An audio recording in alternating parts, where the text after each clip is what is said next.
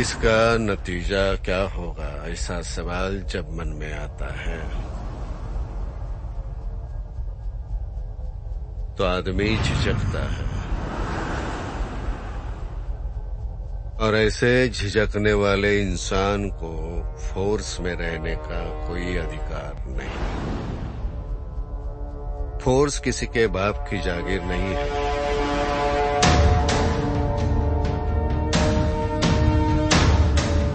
Force की अपनी एक डिग्निटी है। उस डिग्निटी को बरकरार रखना हमारी ज़िम्मेदारी है।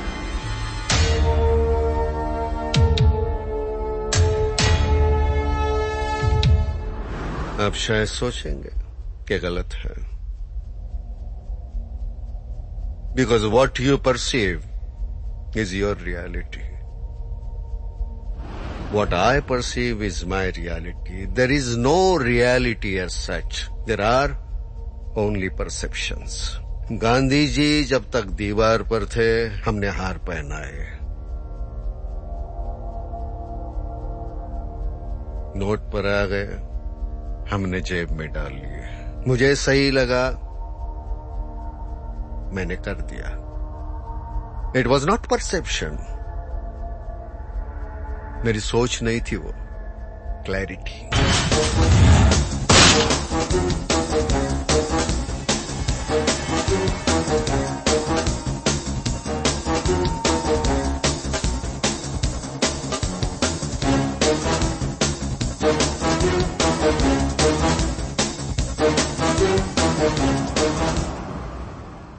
अन्ना साहब, जिस तरह से मैं इस समस्या का हल सोच रहा हूँ वो करने के लिए आपके आदर्श, आपके सिद्धांत मुझे अनुमति नहीं देंगे और मैं वो ज़िम्मेदारी कभी नहीं लेता जिससे मैं पूरा नहीं कर सकता समस्या इतनी गंभीर है, सब जानते हैं। पार्टी से ज़्यादा मेरी जवाबदेही जनता की तरफ़ बनती है। मैं मानता हूँ कि गैंगस्टर्स ने मेरे गांधीवादी रवैये को मेरी सबसे बड़ी कमज़ोरी समझा है। इन लोगों से गांधीवाद से नहीं लड़ सकते। उन्हें उनकी भाषा में ही समझाना चाहिए। मेरी और सबकी यही सोच है। इस समस्या का हल तुम ही निकालो। आप सभी ने इस शहर को, इस शहर के क्राइम को बहुत करीब से देखा है, समझा है। खास करके आपने, प्रधान साहब, आप जब कमिश्नर की पोस्ट पे थे। क्राइम का ग्राफ कंट्रोल में था। इसलिए आप अपने तजुर्बे से हमें ये तो ज़रूर बता सकते हैं कि आज ये प्रॉब्लम क्या है। जागीरदार साहब, हम हमेशा भूल जाते हैं कि फोर्स से ज़्यादा जो लोग फोर्स में हैं, वो इम्पोर्टेंट होते हैं। और हमारा सिस्टम? हमेशा जो लोग इस काम के लिए बने हैं उनको नजरअंदाज करके उन लोगों पे काम सौंपते हैं जो उस काम के मायने भी नहीं जानते। ये ऐसी सिचुएशन हैंडल करने के लिए केपेबल इंटेलिजेंट कॉन्फिडेंट और नॉन करप्ट ऐसे आदमी की ज़रूरत है। जैसे कि? जैसे कि साधु आदर्श है उसमें काबिलियत है लेकिन आजकल वो क्या कर रहा है? सिस्टम ने उस पर डाले हुए लीगल केसेस की वजह से वो अपने गाँव में जाया हो रहा है। आप मुझसे पूछे तो ये सिचुएशन हैंडल करने के लिए? साधु से बेहतर आदमी मेरी नज़र में नहीं है। सर आप शायद भूल रहे हैं। बेल पर बाहर आने से पहले साधु डेढ़ साल जेल में था। उस पर अभी भी केसेस चालू हैं। भंडारे केसेस तो आप पर भी चल रहे हैं। अगर प्रधान साहब ये कहते हैं कि इस काम के लिए सिर्फ़ साधु ही सही है तो साधु ही कर सकता है। हम साधु को वापस बुलाएँगे। यशव यस सर। जल्दी से जल्दी साधु को फ़ोन लगाओ जाकर उसे मिलाओ। जी sir.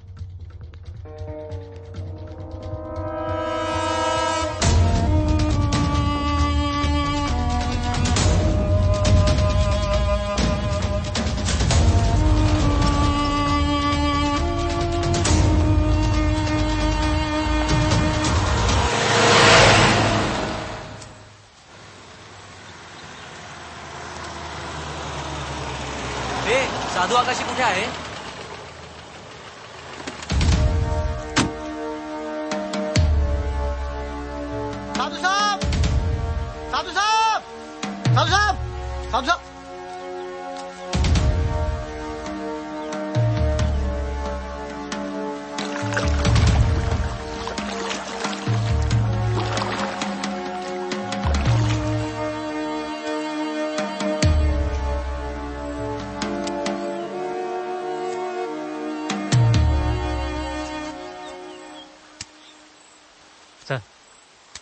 Keshav here. Yeah, over to Sadhu. Home Minister Janardhan Jagirdar.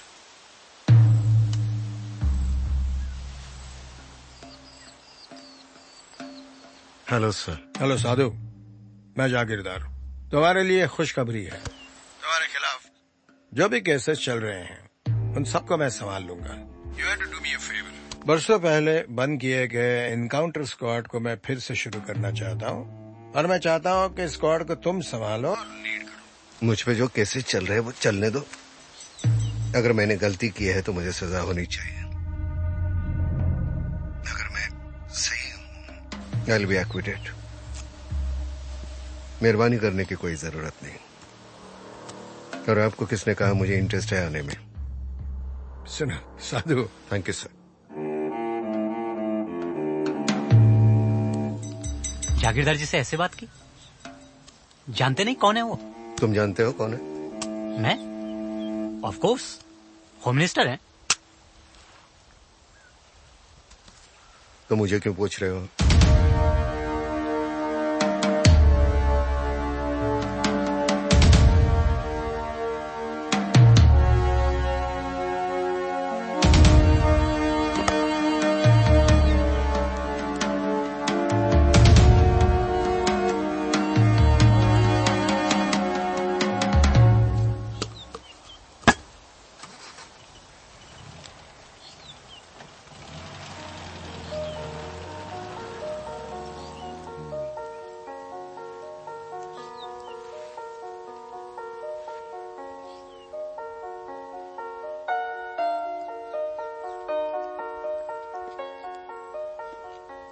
कौन थे अपा नहीं गलत जगह आ गए थे।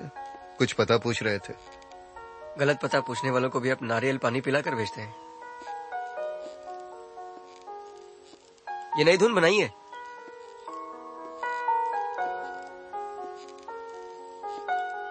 कैसी है?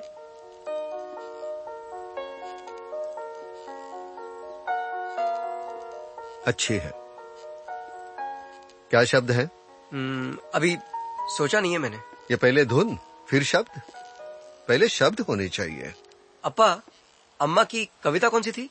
घर में है बस छह ही लोग चार दीवारें छत और मैं। रात साउली एक सहेली गोरा चिट्टा दिन है दोस्त। घर में है बस छह ही लोग चार दीवारें छत और मैं। मुझे उकसाने के लिए लिखी थी ये कविता। मैं हमेशा बाहर रहता था वो घर में अकेली। लेकिन अपने अकेलेपन को कितनी अच्छी तरह सजाया था उसने। तू भी अपनी माँ की तरह बहुत अच्छा लिखता है। लेकिन पहले शब्द होने चाहिए बाद में सुर।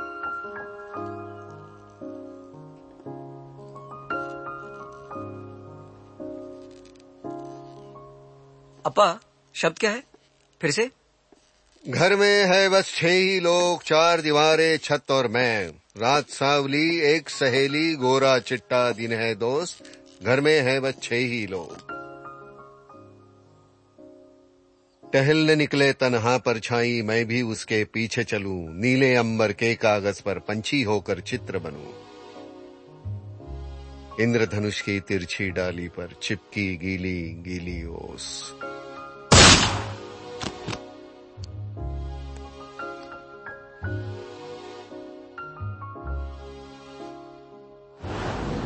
घर में है बच्चे ही लोग। क्या बात है? चार दीवारें छत और मैं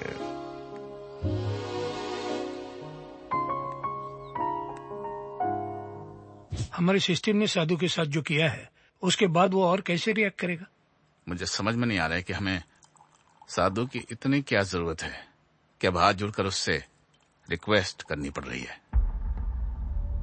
सूर्यकांत थोराट जैसे निडर और एग्रेसिव ऑफिसर के रहते हमें साधु की कभी ज़रूरत नहीं पड़ेगी। मैं थोरात को अच्छी तरह से जानता हूँ। वो ज़रूरत से ज़्यादा एग्रेसिव है। पहले करता है, बाद में सोचता है। साधु जैसे इंटेलिजेंस कॉन्फिडेंस और एक्सपीरियंस सूर्यकांत में नहीं है। साधु मेरा कोई रिलेटिव नहीं है। मैं उसको प्रमोट नहीं कर रहा हूँ। There is no alternative to Sadhu. आप ये कहना चाह रहे हैं कि पुलिस डिपार्टमेंट साधु के बिना कोई काम ही नहीं कर सकता भंडारे, आजकल मुंबई में जो कुछ भी हो रहा है वो तुम्हारे होते हुए भी हो रहा है। तुम सिचुएशन को अच्छी तरह से संभाल नहीं पा रहे हो, इसलिए हमें साधु की ज़रूरत है। Don't get into ego problems Pradhan साहब के तजुर्बे का हमें फ़ायदा मिल रहा है। उनसे उल्टे पुल्टे सवाल मत किया करो। प्रधान साहब, आपने सही कहा। साधु को अप्रोच करने का हमारा तरीका कुछ गलत ही था। सर एक बार मुझे साधु से पर्सनली बात करने का मौका दो। वो मुझसे ना नहीं कहेगा। हम्म, ठीक है। वाह। फेंक फेंक दोबारा। काय रे साधू? गोट्या काय करतो? प्रधान अंकल. अंकल कसा है भूल गया प्रधान अंकल को? अंकल मज़ाक मत कीजिए. आइए ना. आता हूँ. पहले तेरे बाप से तो मिलू।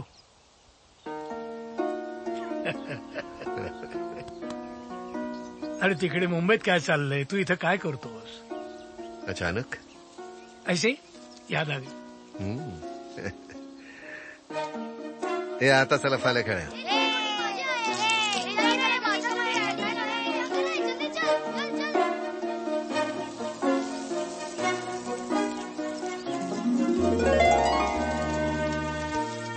एकदम ताजी है अभी पकड़ी हुई है. इतना अच्छा खाना बनाना किसने सिखाया? आधा इसकी माँ ने आधा हालात में. विश्वान विश्वान. मुंबई में इसको सुरमई कहते हैं. दू? हम्म, मस्त झालंय हो ना? घे. बीच बीच में आना पड़ेगा यहाँ साधु। जाओ ही मत.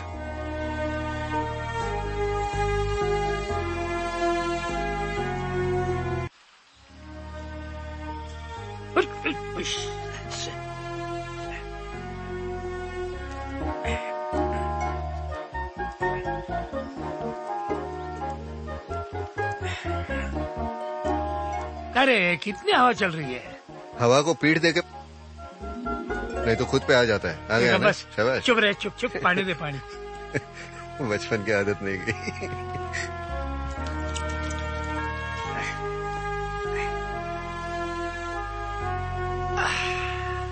Cheers.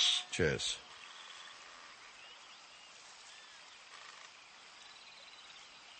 वहीं तर है। वही तर बोरे हे। होडलो भाव ये लो। वक्त और हालात अब पहले जैसे नहीं रहे साधु। ए, संभाल के। वक्त के साथ सिस्टम में नए लोग आए हैं। सिस्टम भी धीरे धीरे बदल रहा है। कुछ अच्छे के लिए कुछ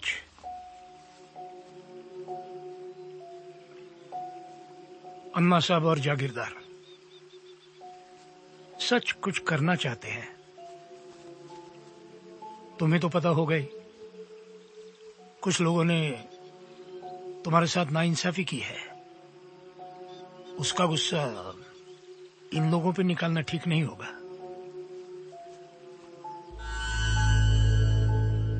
देखो साधु, दुनिया में हर आदमी किसी न किसी काम के लिए बना होता है, और वो काम उसे करना चाहिए। यू आर ए कॉप और तुम ही कहा करते थे once a cop always a cop मैं आपकी बहुत इज़्ज़त करता हूँ। आपने मुझे मनाने के लिए जो भी कहा, वो बिल्कुल सही है। लेकिन मैं दोबारा फोर्स में नहीं आऊँगा। You try to convince me but I am convince by myself अब मैं और मेरी ज़िंदगी। I don't want to think about force no not at all मैं मैं सन, यहाँ के लोग, बस। इर्द गिर्द जो हो रहा है, मैं नहीं जानना चाहता। वजह मत पूछिए। आई एम सॉरी मेरी वजह से आपको इतनी तकलीफ़ उठा के यहाँ तक आना पड़ा। जेन्युइनली आई एम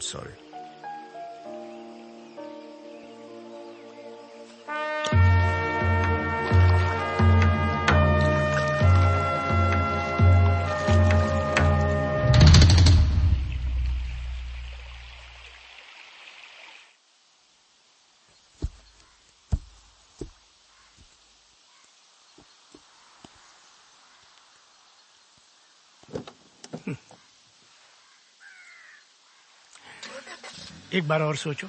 सोच लिया। Okay thank you thank you bye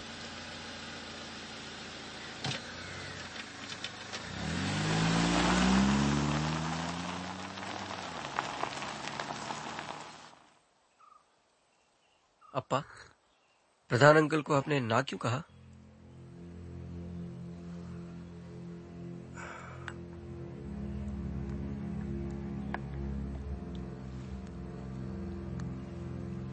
अम्मा की मौत के लिए आप अपने आप को जिम्मेदार मानते हैं। इस गिल्ड से आप आज तक बाहर नहीं निकले। आपको इस बात का डर है कहीं मुझे भी उनकी तरह कुछ होना जाए। और इसीलिए आप शहर से दूर, यहाँ गाँव खेड़े में आकर बसे हैं। कई सालों से। कई बार देखा है मैंने। सुबह का अखबार पढ़कर आप चुप हो जाते हैं। दो दो, तीन तीन दिन तक बात भी नहीं करते। अंदर ही अंदर घुटते रहते हैं। वो घिनौनी खबरें पढ़कर। मैं आपकी घुटन देख तो सकता हूँ, लेकिन कुछ कर नहीं सकता। अपने आप को दोषी मानने लगता हूँ मैं। इस घर में गिल्ड से भरे दो लोग रहते हैं, एक नहीं। आज क्या नारियल छील रहे हैं? कल के आप बच्चों के साथ कंचे खेल रहे हैं। परसों वाड़ी की सफ़ाई कर रहे हैं। घंटों घंटों नाव में बैठे रहते हैं बीच पानी में। मच्छी पकड़ते रहते हैं। किनारे से देखता हूँ तो अच्छा नहीं लगता। अपा, मैं आपके नाक की वजह नहीं बनना चाहता। मेरे अपा पुलिस है। मछुआरे नहीं।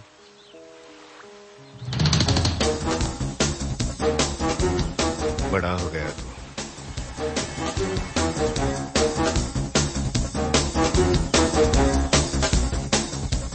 उस दिन तुमने हमारी बात का गलत मतलब निकाला। आई एम सॉरी अन्ना साहब की मैं बड़ी इज़्ज़त करता हूँ और आपकी। उनमें और आप में मैं कोई अंतर नहीं देखता। शहर की बिगड़ी हालत को कंट्रोल में लाने की मैं पूरी कोशिश करूँगा। I trust you Sadhu I am honour sir welcome back sir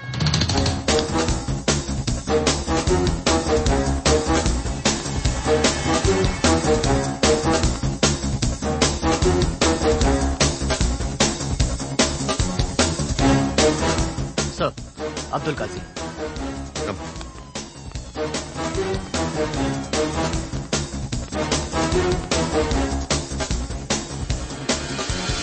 जय हिंद सर। जय हिंद। मी जगदाळे। किती वर्ष झाली क्राईमला? सात वर्ष झाली सर. कमी करा. हे? प्रयत्न करतोय सर. नक्की करतो. सर हं, घोरपडे आहे. घे घे. कोणाचा आहे? सर बीवी का? बीवी का है ले ले. मालूम नहीं बाद में बात करने का मौका कब मिलेगा। Hello sir. Suryakant Thorat sir. काफ़ी सुना है तेरे बारे में। उम्मीद है अच्छा ही सुना होगा सर। अच्छा भी सुना है। घोरपड़े चाय बोल सबके लिए। यस सर बाथरूम कहाँ है रे? सर वो राइट साइड में आखिरी दरवाज़ा। अबे साले आज तो दिखा। आइए सर। काफ़ी सुना है साधु सर के बारे में। अच्छा है उनके साथ काम करने का चांस तो मिलेगा? उसके साथ नहीं। उसके अंडर काम करने का।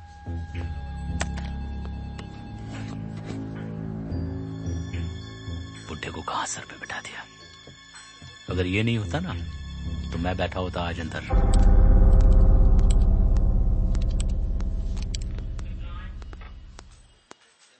ये क्या है रे? ईरानी होटल का फैमिली रूम है क्या? इधर कड़ी लगा। है? सर। बाहर का दिखना चाहिए। सूर्यकांत जरा अंदर आ रहे सर। देखिए जो काम करने जा रहे हैं हम ना तो ये तेरे बाप की शादी है ना मेरे। गवर्नमेंट का काम है। तूने हाँ बोला है मैंने हाँ बोला है करना पड़ेगा। भरोसा होना चाहिए एक दूसरे पे। किसी को ठोकने जा रहे हैं तो तुझे मुझे कवर करना है मुझे तुझे। नहीं तो ठोकेंगे कैसे? समझता है? सर। उधर से आ जा। हाँ। बैठ बैठ बैठ। अरे बैठना। बैठ।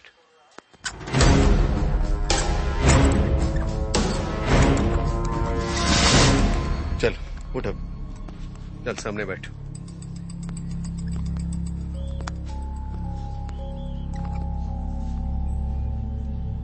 तू सोचता होगा, डिपार्टमेंट ने बूढ़े को लाके सर पे बिठाया।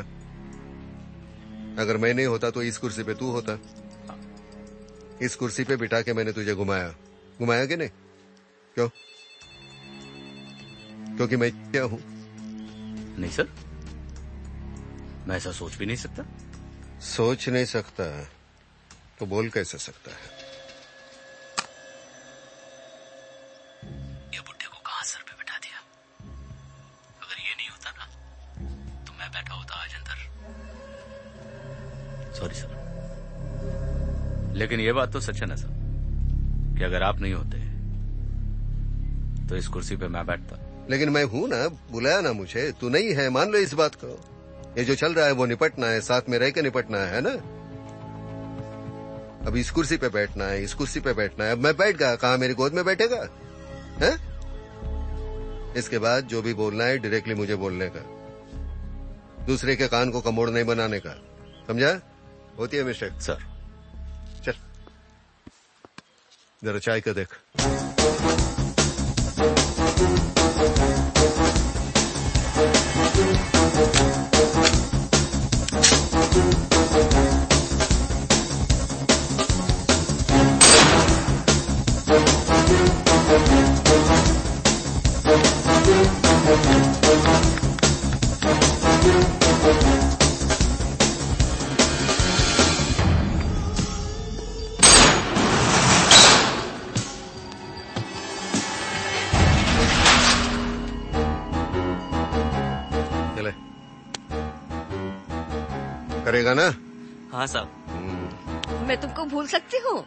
बेटा कैसा है? पिछले कई सालों से वो बाहर गाँव में है। और? कैसा चल रहा है? ऊपर वाले की मेहरबानी है। हम्म। ये ले। अरे बेटा क्या करूँगी? ओके चलता। अब पहले जैसा नहीं रहा। सब शूटर सब बिजनेसमैन बन गए। गैंग में परमानेंट चार छह होते हैं। बाकी के सब डेली बेसिस पे। अंडरवर्ल्ड में आउटसोर्सिंग। हम्म, लेकिन इन्हें शूटर्स कहाँ से मिलते हैं? बाज़ार में पड़े मिलते हैं। फास्ट फ़ूड जैसे? You just have to hire them पहले पुलिस पे हाथ उठाते हुए सोचते थे अब वैसा नहीं रहा। आज एक गैंग के लिए काम करने वाला कल दूसरे गैंग के लिए काम करता है। इस धंधे में पहले जैसी ईमानदारी नहीं रही। हो गया? हाँ। ले ले बाहर। आमलेट और चाहिए? नहीं। हाँ? नहीं नहीं। हेलो कौन है? साधु पहचाना। रावले भूल गया। तेरा अभी भी तय करे? सब तेरी मेहरबानी है। तसल्ली बस इतनी है कि यहीं बैठे बैठे मुंबई में अच्छे अच्छों का अगना मूतना बंद कर देता हूँ। तू तो जानता ही जैसे मैं जानता ही हूँ कि तुझे होम मिनिस्टर ने फिर से बुलाया है क्लीन अप करने के लिए। मेरे को थैंक्स कभी बोलेगा। थैंक्स तो तुझे मुझे बोलना चाहिए। जमीर को और तेरे भाई को नहीं ठोकता तो तेरे जैसा कंप्यूटर इंजीनियर गुड मॉर्निंग कैसे बनता ले मस्का लगा। हाँ। कितना मस्का खाएगा? अभी तेरे को नहीं बोला रे। बोल फ़ोन काय के लिए किया? तेरे साथ हाथ मिलाना चाहता हूँ। सब कुछ भूल के। धोने के बाद हाथ धो के आ जा एयरपोर्ट पे। नहीं। आराम से। सुना है तूने सोचने के लिए रखा है? ज्योति खाओ। हाँ ज्योति वही आर्थर रोड सेल नंबर आठ का। साला इतना बड़ा कंप्यूटर इंजीनियर और तू एक एक एक, एक मिनट जो से थोड़ा काम है मेरा। देख मेरे कंप्यूटर पर एक इम्पोर्टेंट डॉक्यूमेंट फ़ाइल है वो खुल नहीं रहा है। खोला तो कुछ आंडू पांडू जंग कैरेक्टर दिख रहे कैसे खोलू? पहले फ़ाइल क्लोज कर। टचपैड भी नहीं। चल रहा है कैसे कहाँ से बंद करो? तो ऑल्ट एफ़ फोर दबा। अपा और ब्रेड चाहिए? नहीं नहीं तू खा ले मैं आता हूँ। अच्छा फ़ाइल पे राइट क्लिक कर। बिना टच पैड के तेरे बाप ने राइट क्लिक किया था बे। अच्छा तो फ़ाइल पे शिफ्ट एफ़ टेन कर। साला शिफ्ट एफ़ टेन से मेरा फ़ाइल तो उड़ेगा नहीं ना? मुझ पे भरोसा नहीं है। अब ओपन विथ सेलेक्ट कर और वर्ड प्रोग्राम के साथ फ़ाइल ओपन हो जाएगी। हो गया हो गया हो गया हो गया हो गया। थैंक यू साधो तेरी नई इनिंग्स के लिए मुबारक। मैं सोच ही रहा था नई इनिंग किससे शुरू करूँ? तुझसे या रॉब से? मेरी कुंडली तो तेरे सामने खुली है। पढ़ ले और फिर डिसाइड कर। चल रख रख रख मुझे जाना है।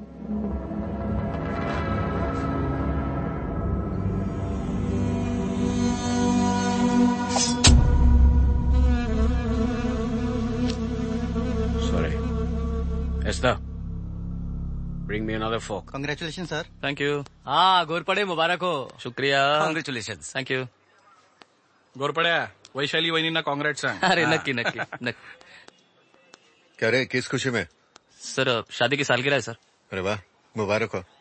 कितने साल हुए? सर सात साल। तू काय को हंस रहा है रे? हाँ? सातवीं सालगिरह मना रहा है वो भी एक ही बीवी के साथ खुशी खुशी ऐसी बात में मज़ाक नहीं। छुट्टी चाहिए? सर। जा घर जा। मज़े कर बीवी के साथ। केक काट। हम मेहमानों की लिस्ट बनाते हैं। काजी लिख।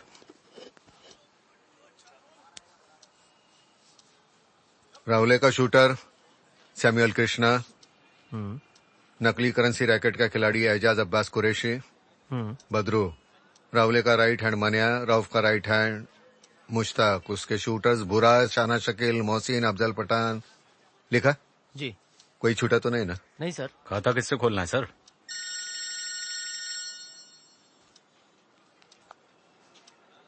Hello.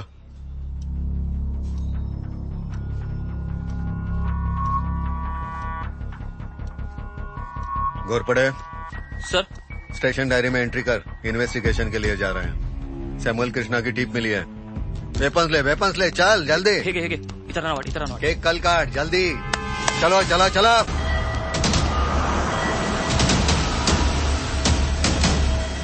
सूर्यकांत जा लीड कर।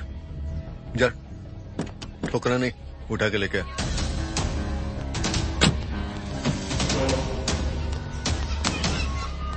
ए दबंग कहाँ जा रहा है? आता है? ए आ रहा है? अरे आना चल हट।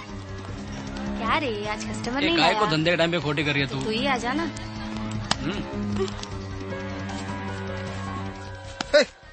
कैसा है? अच्छा है। गाड़ी तेरी है क्या? हाँ। चल। नहीं। अरे। चलना। अरे जाओ ना। क्यों बच्चों को सताती है? बच्चा। बच्चा नहीं तो क्या?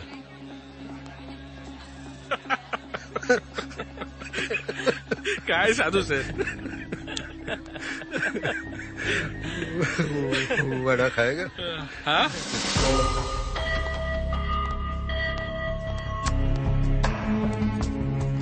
ए।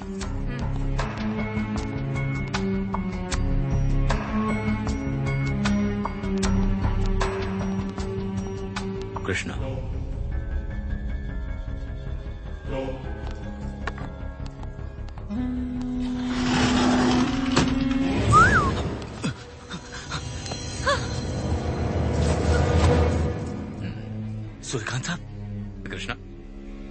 यहाँ नहीं?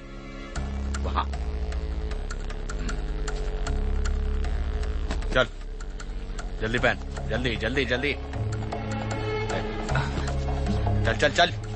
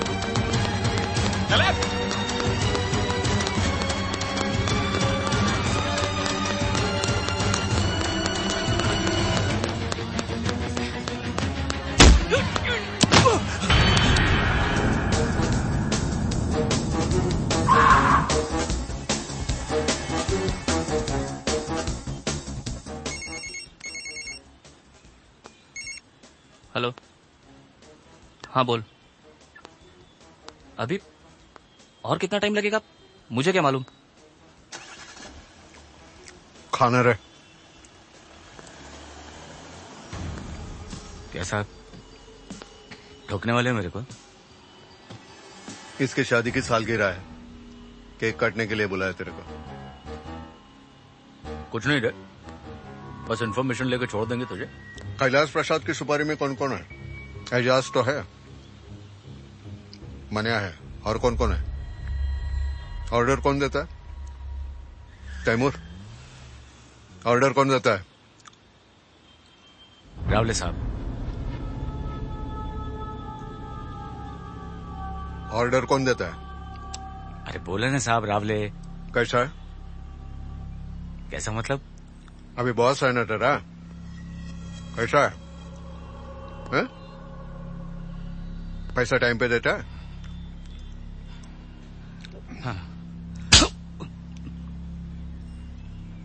छोड़ा काय को उसको? एक नंबर का मतलब आदमी साहब हम्म। भरोसा नहीं करता। शक करता रहता है।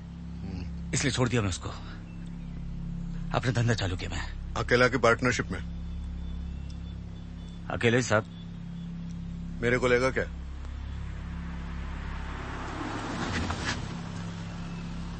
यहाँ क्या हुआ?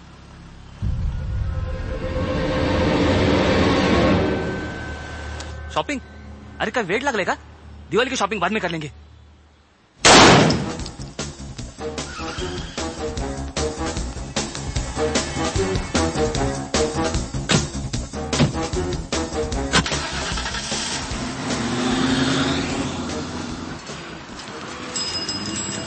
ठीक है। ओके ओके बाय रुकिए कहाँ जा रही है आप? मुझे डिपार्टमेंट हेड से मिलना है। बिना परमिशन अंदर नहीं जा सकती आप। अरे मेरी अपॉइंटमेंट है। अरे साधु काशी से मिलना है मुझे बात करनी है उनसे। नहीं बिल्कुल नहीं। क्या बात है? ये कैसे आदमी रखे हुए हैं आपने इनको बात करने की तमीज नहीं है। यहाँ पे मेरा अपॉइंटमेंट है। ए आजा आजा आजा आजा, आने दे ठीक है जाइए। सर मैं शालू दीक्षित क्राइम रिपोर्टर। तो? यहाँ कोई प्रेस कॉन्फ्रेंस है? सर मैं प्रेस कॉन्फ्रेंस के लिए यहाँ नहीं आई हूँ। क्या मैं जान सकती हूँ कि इतने सारे ऑफिसर्स होते हुए भी होम मिनिस्टर ने आपको वापस क्यों बुलाया? गलत बंदे को गलत सवाल कर रही हो। ये सवाल तुम्हें होम मिनिस्टर को करना चाहिए। अगर वो जवाब देते हैं तो मुझे बताना वजह क्या है? मतलब आप बताना नहीं चाहते। सर मैं आपके बारे में बहुत कुछ जानती हूँ। किसको मारा किसको नहीं क्यों मारा क्यों नहीं ये भी। मेरे बारे में इतने आर करने की क्या ज़रूरत है? आर मैंने नहीं अनंत दीक्षित ने की थी। मैं उनकी बेटी हूँ।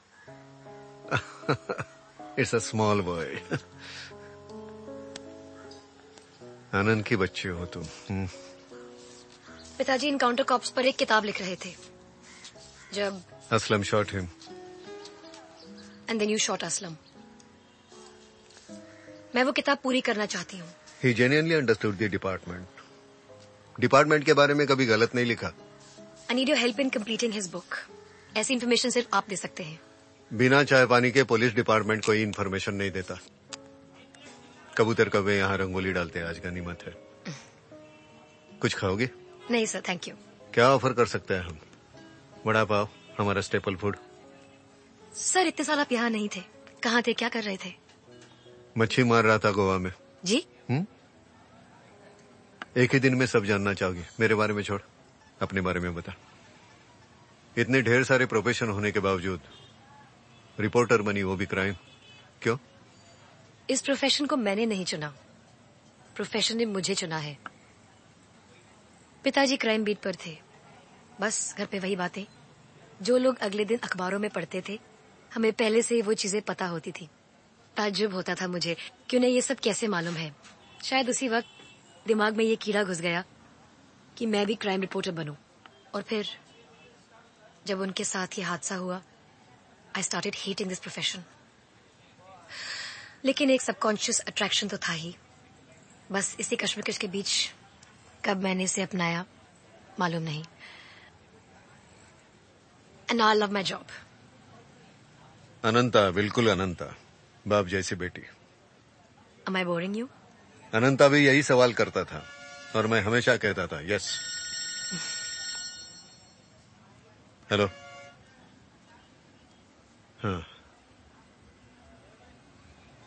अच्छा अच्छा। Sorry I have to go एक मीटिंग है। जी। मिलेंगे फिर? जी। हाँ? Thank you okay finish your tea bye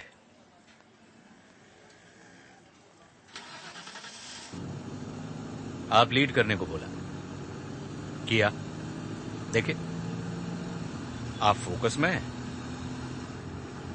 और हम आउट ऑफ़ फोकस फ़ोटो निकालने वाले को मैंने बोला था, तुम लोगों को आउट ऑफ़ फोकस रखो।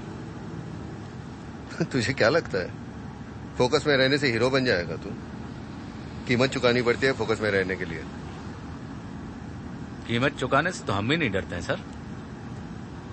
फोकस में रहेगा तो बहुत से लोग ठोकने के लिए तैयार रहेंगे। आउट ऑफ़ फोकस रहेगा तो देरी से दीवार पे लटकेगा। लटकना तो सबको है सर। तो फिर क्यों ना फोकस में होकर लटके? कम से कम बेटे को तो पता चले कि वो किसको हार पहना रहा है। तेरे लिए नहीं तेरे बेटे के लिए। अगली बार तुझे फोकस में रखने को बोलता हूँ। ये नहीं सुधरेगा। तुझे समझाने से ठोकना अच्छा है। 98 में ऐसा ही इन्फॉर्मेशन मिला था। नया रिक्रूट था भिंगार दिवे। एकदम जोशीला तेरे जैसा। भाग दौड़ में मैंने उसे ही ठोक दिया। दाहिने कंधे पे गोली लगी थी उसे। इट वॉज़ एन एक्सीडेंट ठीक हो गया बाद में। कुछ भी हो सकता है ना ऐसा। सूर्यकांत, आज भी तू लीड कर मैं? हाँ। नहीं सर मेरा कोई मतलब नहीं है सर क्यों? आप लीड करो। फोकस में आ जाएगा तू।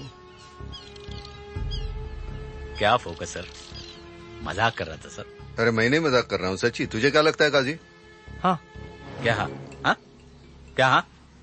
हाँ? अरे सर सर सीनियर है। सर आप करो सर हम लोग हैं सर आपके पीछे हैं सर अरे असल में मैंने किसी को नहीं ठोका था। मज़ाक कर रहा था मैं। करना। नहीं सर उसके लिए नहीं सर। है? उसके लिए नहीं सर। आप करो हम हैं।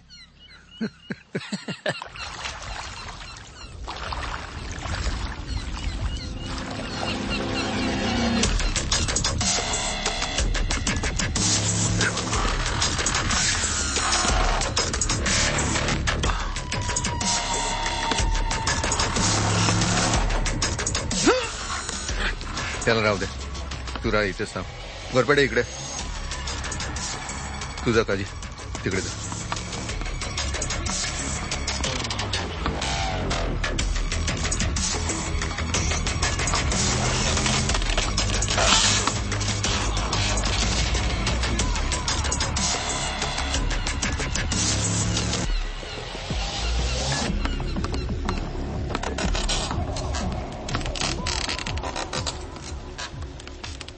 एकदम जोशीला तेरे जैसा। भाग दौड़ में मैंने उसे ही ठोक दिया। साधु सर? वो बोट के दूसरी तरफ़ से गए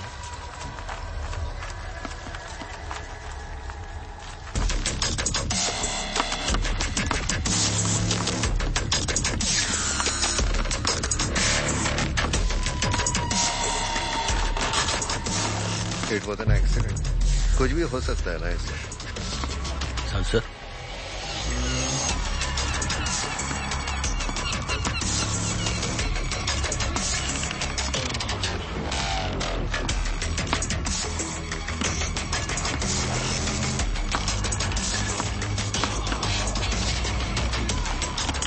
सूर्यकांत। हरियाणा तुझे समझाने से ठोकना अच्छा है।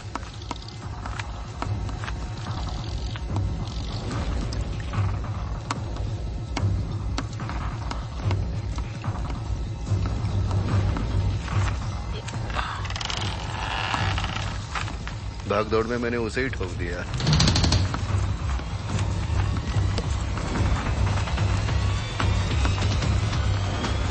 तो वाह मैं जा रहा हूँ सोने के लिए। तुम लोगों का काम हो गया ना? तुम लोग भी जरा झपकी मार लो। हले ठीक है।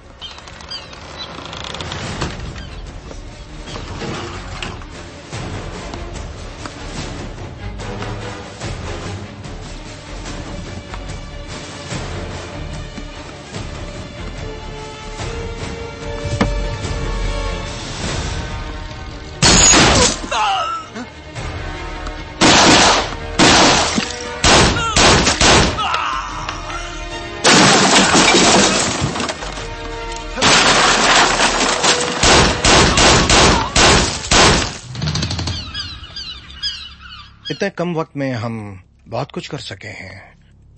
सबसे फक्र की बात यह है कि साधु जैसा अफसर आज हमारे साथ है। और लगता है कि अब लक्ष्य ज़्यादा दूर नहीं है। सर। ये आ गया साधु। सर। आओ साधु। तुम्हारी बात हो रही थी। मुझे गर्व है तुम जैसे ऑफिसर्स हमारे सिस्टम में हैं। सर आप जो काम कर रहे हैं उसके सामने हमारा काम कुछ नहीं है। ये तुम्हारा बड़प्पन है। नहीं सर। आपका काम आपकी विचारधारा। उसकी कोई बराबरी नहीं पूरे महाराष्ट्र में। हाँ। हाँ। ए, ए, ए, एक मिनट एक मिनट। साधु। सर। दुख इस बात का है कि गांधी जी जब तक दीवार पर थे हमने हार पहनाया। जब नोट पर आए हमने जेब में रख लिया। अपने आदर्शों को चबूतरे पे बिठाने के बाद अपनी जिम्मेदारियाँ खत्म ऐसा ही समझने वाली आजकल की पीढ़ी है क्या करें? साधु जिस तरह से असामाजिक तत्वों को हटाने के लिए तुम स्क्वाड का नेतृत्व कर रहे हो वो करने के लिए भी एक विचारधारा है और उससे ज़्यादा बेहिसाब हिम्मत चाहिए। Well done thank you sir thank you thank you sir thank you तो इसलिए मैं कह रहा था कि जागीरदार और अन्ना साहब बड़े अच्छे लोग हैं।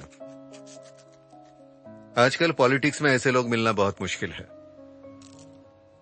ठीक है अपा फिर मैं पॉलिटिक्स में जाऊँगा। नेता बनूँगा। वैसे भी आप नहीं चाहते मैं म्यूज़िक को अपना प्रोफेशन बनाऊँ? मैंने ऐसा कब कहा? मैंने इतना ही कहा कि म्यूज़िक के साथ और भी कुछ करो। पॉलिटिक्स में जाना चाहते हो जाओ। लेकिन ध्यान में रखो पॉलिटिक्स धंधा नहीं है। प्रोफेशन है लोगों के लिए अगर कुछ करना चाहते हो ज़रूर जाओ। बैठो बैठो बैठो मैं खोलता हूँ। आओ hi sir welcome welcome Aman ये मेरे दोस्त की बेटी है शालू। हाय हाय इनके पिताजी एनकाउंटर कॉप पे एक बुक लिख रहे थे। अधूरी रह गई ये पूरी कर रही है। मेरा बेटा अमन। पियानो बजाता है? हम्म लिखता भी है। ओ चलो दोनों राइटर बातें करो मैं तुम्हारे लिए खाने के लिए कुछ बनाता हूँ। अपा अंडा मत बनाना प्लीज़ नहीं आज अंडा नहीं। आज तुम्हारी माँ का स्पेशल सांबार। अरे याद है तुम्हारी माँ हिंग को क्या बोलती थी? हिंग को तो हिंग ही बोलती थी। अबे मोजार्ट आम दुनिया हिंग बोलती है। तेरी माँ कायम बोलती थी। सर घर अच्छा है? हम्म नाइस गवर्नमेंट का दिया हुआ है। गाँव जैसा है अच्छा है। बैठो। अमन। जी? उस बुक के लिए मुझे तुम्हारी भी हेल्प चाहिए। मेरी?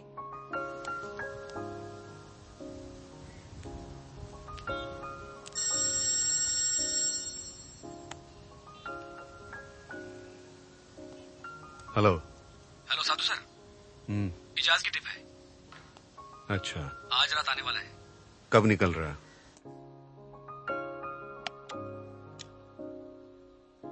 I am sorry to bring this up it's okay जब तुम्हारी माँ को गोली लगी तुम उस वक्त वहीं थे ना? हाँ। उस वक्त तुम्हारे पिताजी की दिमागी हालत क्या थी? मुझे इतना याद नहीं आ रहा है पर काफ़ी भगदड़ मच गई थी वहाँ। मैं काफ़ी डरा हुआ था।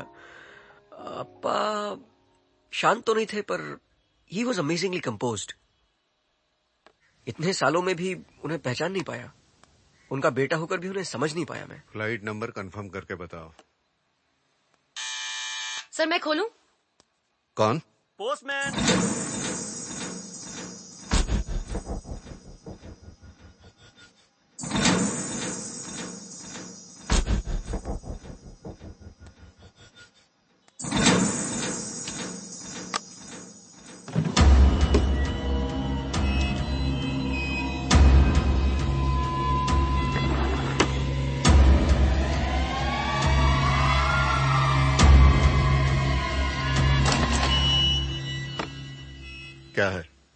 रजिस्टर मेल है। किसके नाम? साधु अगाशी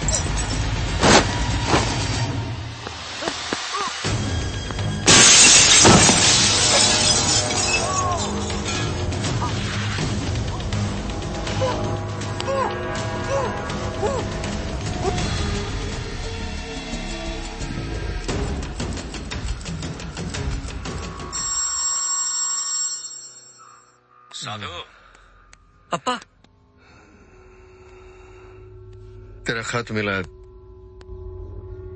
तेरा पोस्टमैन पड़ा हुआ है यहाँ मेरे पास। मेरा पोस्ट कुछ समझा नहीं। मैंने तो तेरे को थैंक्स बोलने के लिए फ़ोन किया। कृष्णा और कुरेशी को मार के तूने मेरा काम कर दिया। साले मुझसे गद्दारी कर रहे थे।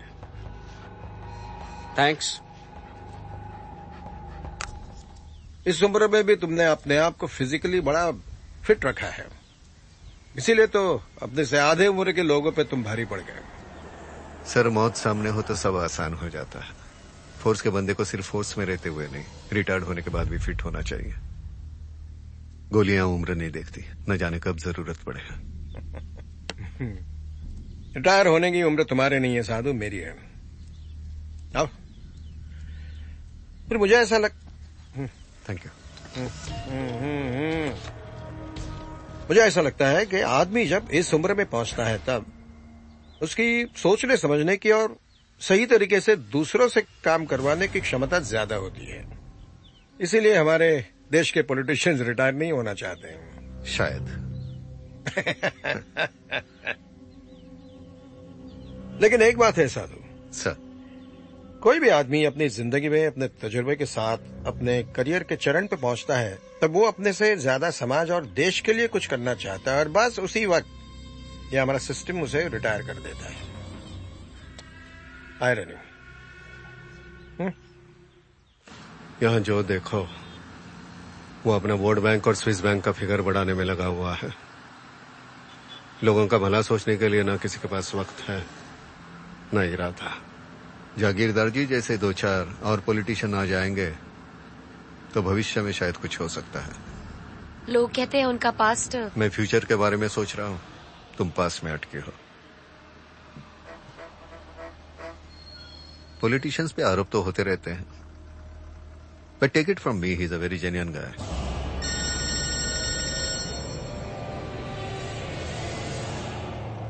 हाँ बोल रावले क्या रे साधु तेरे उस पोस्टमैन के बारे में पता चला। तूने तो कमाल कर दिया। तू मिलेगा तो और कमाल हो जाएगा। दोबारा मिला ही नहीं ना। गाड़ी चला रहा हूँ। पहले इसे बात कर चालू से। क्राइम रिपोर्टर है। पहले पन्ने पे तेरा इंटरव्यू छपेगी। ले बात कर। मैं राहुल से क्या बात करूँ? अरे जर्नलिस्ट हो कुछ भी बात करो। लेकिन फिर भी। अरे फिर भी क्या? गर्लफ्रेंड के बारे में पूछो। गर्लफ्रेंड मेरा मज़ाक उड़ा रहे हो? क्यों रे? माचुका के बारे में पूछा तो इमोशनल हो गया। पुराना जख्म ताज़ा हुआ। कट गया?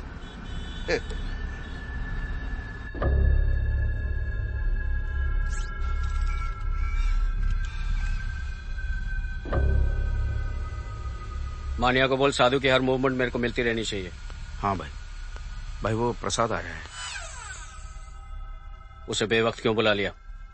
भाई वो माफ़ी मांगना चाहता है। कहता है गलत फहमी में मिस्टेक हो गई. और अगली दफ़ा मिस्टेक नहीं होगी उसकी क्या गारंटी है?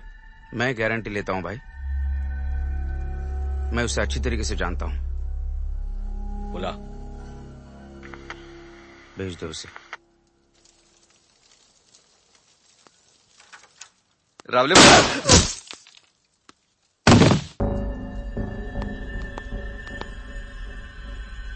गलत फहमी दूर करने का बस एक ही तरीका है। और खुद की क्या? दूसरों की गारंटी भी कभी मत लेना। वक्त के साथ आदमी बदल जाता है। अरे मुंबई में कृष्णा की जगह अपने को एक लड़का चाहिए भरोसेमंद। तेरे भाई का बेटा है ना? क्या नाम है उसका? बाबू। उसको रख काम। पे लेकिन उससे भी ज़्यादा भरोसेमंद और काबिल आदमी देता हूँ मैं। नहीं बाबू ही चाहिए। उसका गारंटी नहीं चाहिए मुझे। तो है ना मेरे पास, गिरवी। दिल्ली से आईबी की रिपोर्ट आई है कि अंडरवर्ल्ड मुंबई में एक बहुत बड़ी आतंकवादी घटना को अंजाम देने की ताक में है। पहले मुझे ऐसा लगा कि इसके पीछे रावले है। लेकिन आईबी कहती है कि रावले नहीं है। राफी ये काम करने वाला है। एलिमिनेट तो दोनों को करना है। लेकिन फ़िलहाल तुम रॉफ पे कॉन्सेंट्रेट करो। हाँ बोल। मन्या आज शाम जाधव से मिलने उसके तबेले में आने वाला है। खबर पक्की है? हाँ मुश्ताक बेटा। कल रात वो शबनम और रुखसाना के साथ बैठा था। खबर गलत निकली तो याद रखना। ठोक दूँगा। मैं झूठ क्यों बोलूँ बेटा? लेकिन मेरा इनाम? मिल जाएगा। भाई। क्या है? भाई मन्या की खबर मिली है। ये पाँच लाख है। ये प्लेन का टिकट। चार महीने गाँव में ही रहना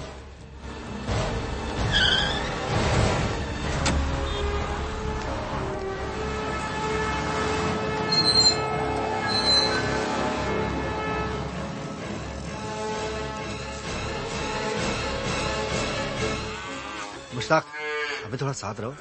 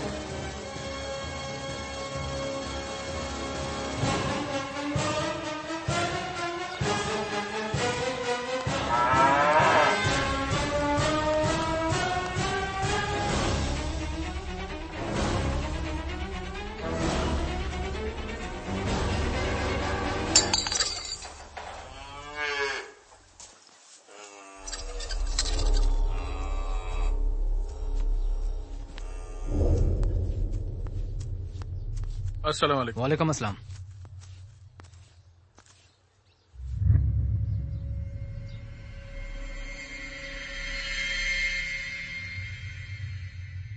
बुढ़िया झूठ तो नहीं बोली?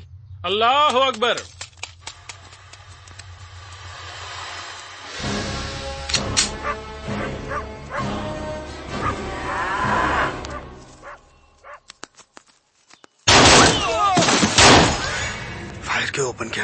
मुझे लगा कि उन लोगों ने भोरपड़े को देख लिया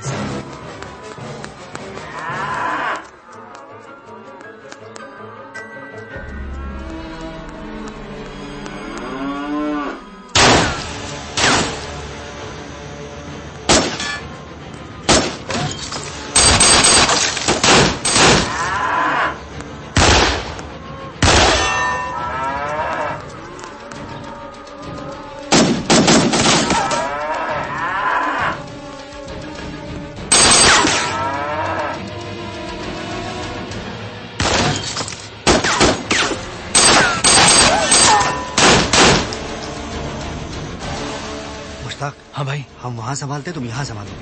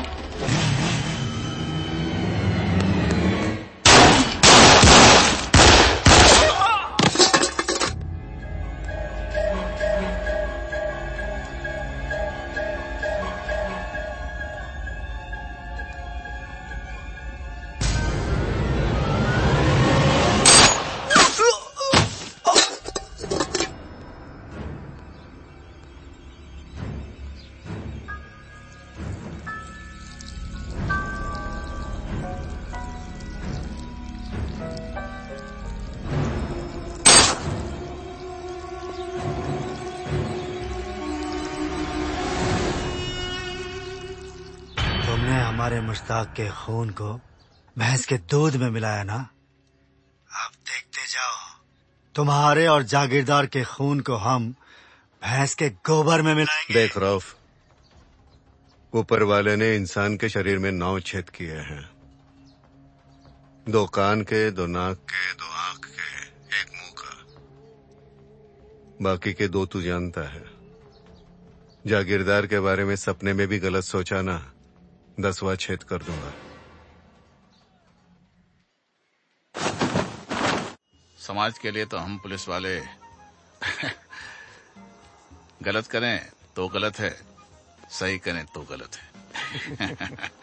थैंकलेस जॉब अरे साधु। सर। कम। मेरा बेटा अमन। अच्छा अच्छा। आओ बेटा। आओ यहाँ बैठो। Come. Your father is a hero आओ बैठो। फुर्सत तो हमें नहीं मिलती है लेकिन हम भी कुछ शौक रखते हैं जैसे फोटोग्राफी है म्यूज़िक है। सब म्यूज़िक मेरा शौक नहीं पैशन है। गुड स्कूल में था तभी से संगीत की धुन इस पे सवार है। इसका हारमोनियम अभी तक मेरे घर पड़ा है। ऐसे बच्चों को देखता हूँ तो बड़ी खुशी होती है। जागीरदार जी। ब्रह्मचारी रहने की प्रतिज्ञा तुम नहीं करते तो रामन जैसा बेटा तुम्हें भी होता। अमन मेरे बेटे जैसा ही तो है। बेटा अमन तुमने सही बोला। शौक बहुत होते हैं। पैशन सिर्फ़ एक। वो सब ठीक है। प्रोफेशन के बारे में क्या सोचा है? पेट पानी। सर मैं अपने पैशन को ही अपना प्रोफेशन बनाना चाहता हूँ।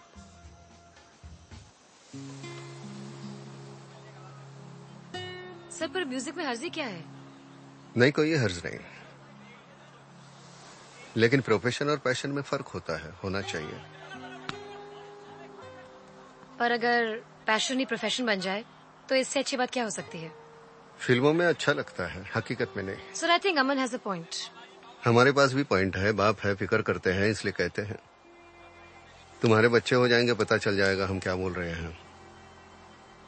पैशन के चक्कर में पूरी ज़िंदगी रेत की तरह मुट्ठी से फिसल जाने के बाद सोचने का क्या मतलब? तो क्या आप भी उन माँ बाप में से हैं जो बच्चे को लॉयर इंजीनियर या डॉक्टर बनाना चाहते हैं? मैं भी एक मिडिल क्लास बाप हूँ मैं भी वही सोचता हूँ मैं कहाँ आसमान से गिरा हूँ। लेकिन खैर अभी वो जो चाहेगा वही करेगा। उसकी ज़िंदगी है जब तक मैं हूँ उसके साथ। हूँ मेरे humble chap I will be with him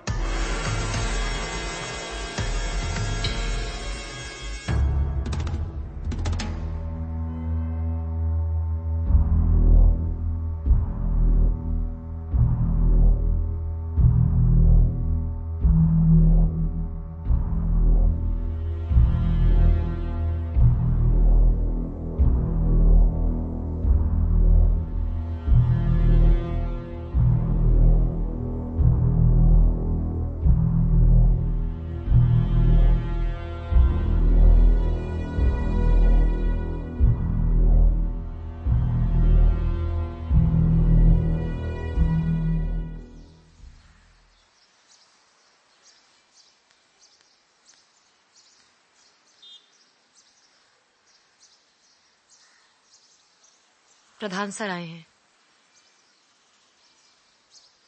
आ रहा हूँ।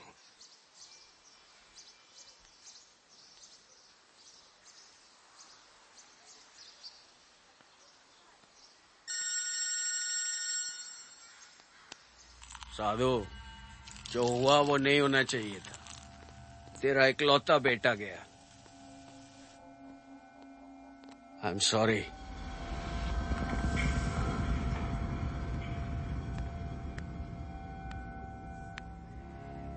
आखिरी फटका कौन किसको मारेगा, कुछ पता नहीं।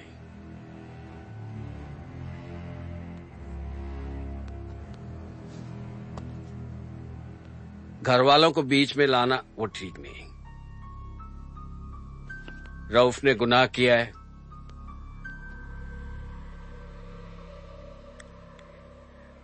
और उसकी सजा उसको ज़रूर मिलनी चाहिए। मेरी कोई भी हेल्प लगेगी? तो मेरे को बोलना I will always be there for you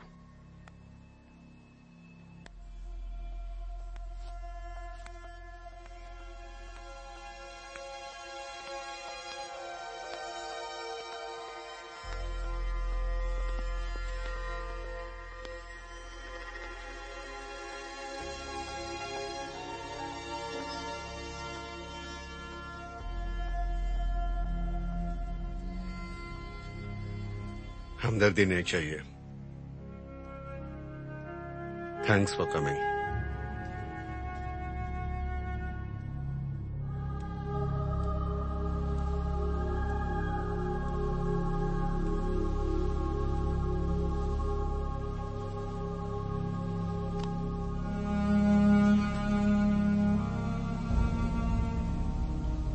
कल क्या बच्चों के साथ कंचे खेल रहे हैं? परसों वाड़ी की सफ़ाई कर रहे हैं? घंटों घंटों नाव में बैठे रहते हैं बीच पानी में। मच्छी पकड़ते रहते हैं। किनारे से देखता हूँ तो अच्छा नहीं लगता। अपा, मैं आपके नाक की वजह नहीं बनना चाहता। मेरे अपा पुलिस है। मछुआरे नहीं।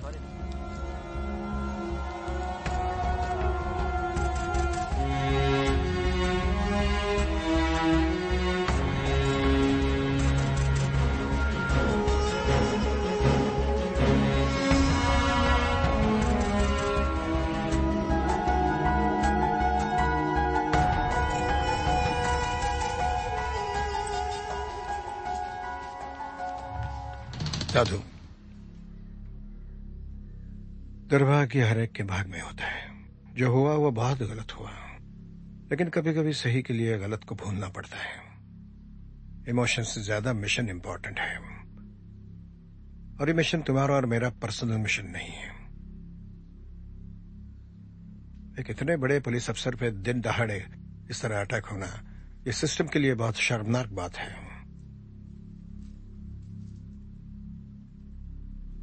इसके बाद जो भी करोगे। उसमें पर्सनल इमोशंस के लिए कोई जगह नहीं होनी चाहिए। सिस्टम को उनको खत्म करना है। मैं समाज के लिए करूँ अपने लिए करूँ सिस्टम को क्या फ़र्क पड़ता है?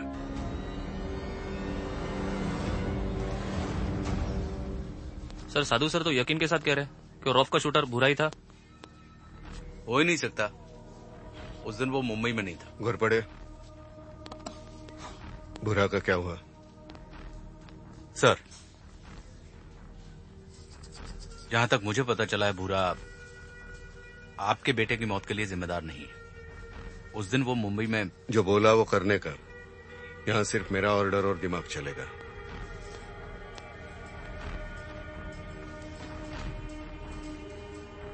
दिमाग ठिकाने होगा तब चलेगा ना?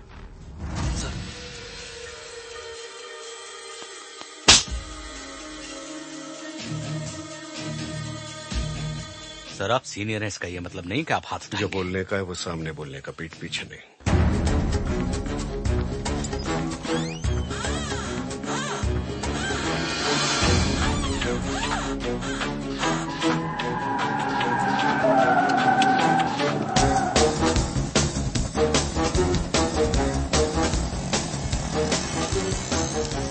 अल्ताफ भाई का घर कहाँ है? वो सामने। जी। अल्ताफ भाई से बात करनी है। कौन है? आपसे मिलने आई है। आइए।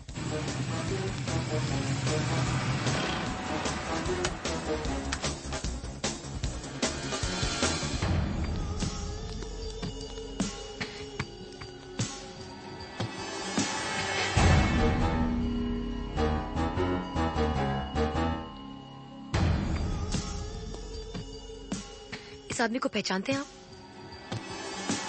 पुलिस भी इसकी तलाश में है। मुझे पता चलते मैं आपको इन्फॉर्म कर दूँगा। इसका मिलना बहुत ज़रूरी है। अरे बुरा भाई। तुम जानते हो इसे? बुरा आज रात की ट्रेन से हैदराबाद जा रहा है।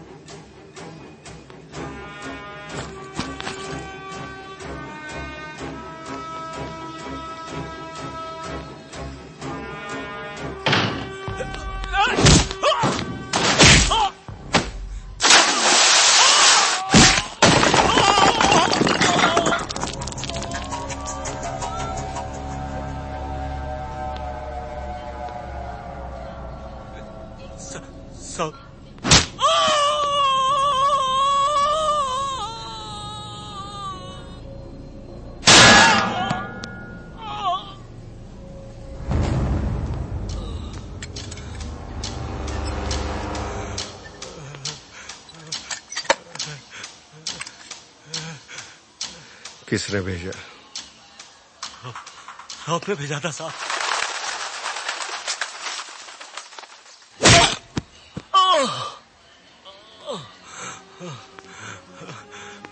रौफ कहाँ है? रौफ कहाँ है? I I G I G hospital.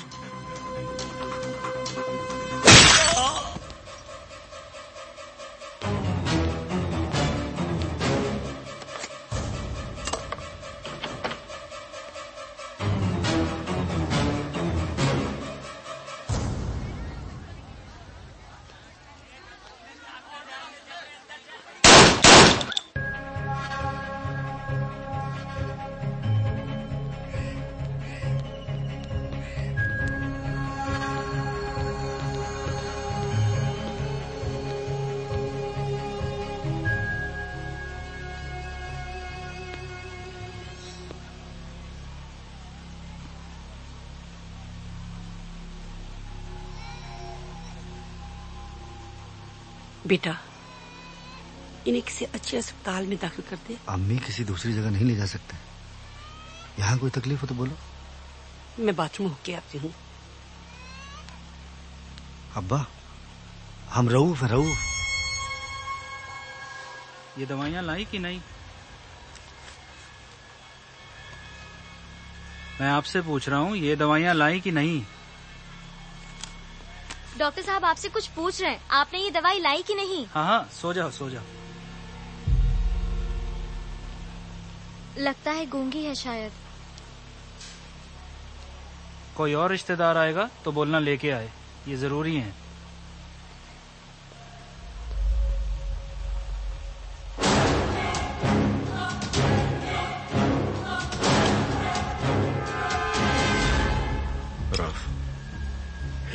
पूरा मैगजीन खाली कर दूँगा।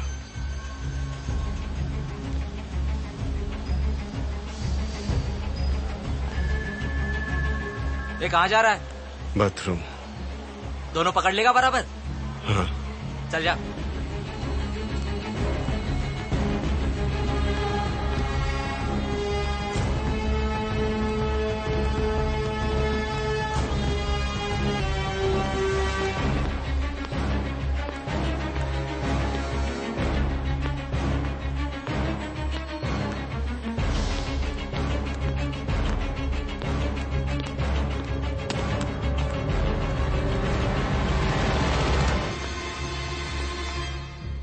देखो साधु, हम तुमको सौ टका मारना चाहते हैं। अभी भी मौका मिलेगा तो अभी भी छोड़ेंगे नहीं, लुढ़का देंगे।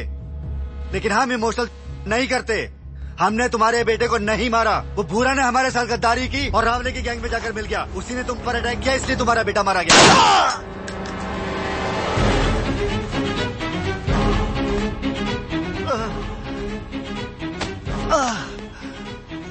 मिस्टेक हो गया।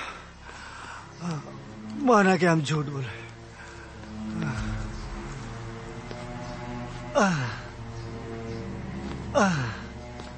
एक खबर है हमारे पास साधु। वो लो और जाने दो हमें। रावले के खास ने हमें बताया कि रावले ने अन्ना साहब को मारने की सुपारी ली है। अन्ना साहब को। रावले ने अपने खास को बोला और उस खास ने तुझे बोला। तुम एक दूसरे के अबे साधु हमारी बात का यकीन करो। पहले अपनी जान बचाने के लिए हम झूठ बोले। तुमने यकीन नहीं किया? ठीक किया। लेकिन इस बार इतना बड़ा सच बता रहे हैं और तुम यकीन नहीं कर रहे हो, पछताओगे। इमोशनल मत करो। तुम जानते हो, रावले को अन्ना साहब को मारने की सुपारी कौन दिया? सुनोगे ना तो पाँव के नीचे ज़मीन खिसक जाएगी।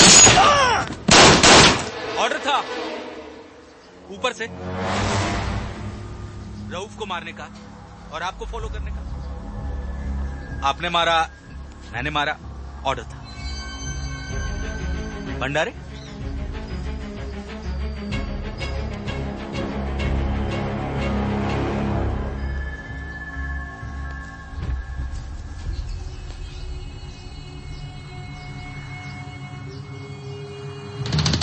मरते वक्त भी रॉब झूठ बोल रहा था। क्या बोल रहा था? कह रहा था रावले ने अन्ना साहब को मारने की सुपारी ली है। अन्ना साहब को कौन मारना चाहेगा? उससे पहले कि वो कुछ कह दे सूर्यकांत ने उसे ठोक दिया। लेकिन रॉब बक रहा था।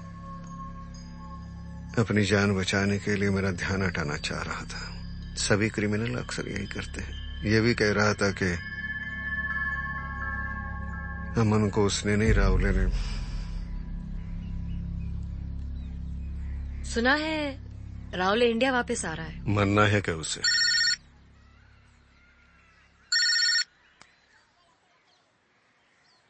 Hello what sir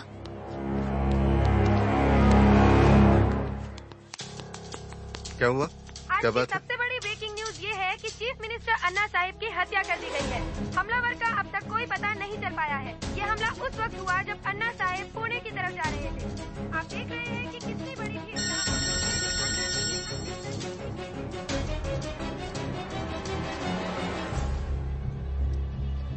Rauf was right hello sir फ़ौरन सिटी हॉस्पिटल में आके मुझे मिलो। अन्ना साहब के असैसिनेशन के बारे में बात करनी है। फ़ौरन निकलो। सर सर